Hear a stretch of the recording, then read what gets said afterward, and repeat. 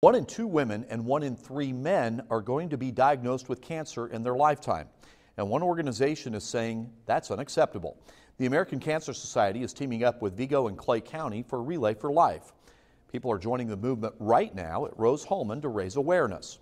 The event is packed full with entertainment and goes until midnight.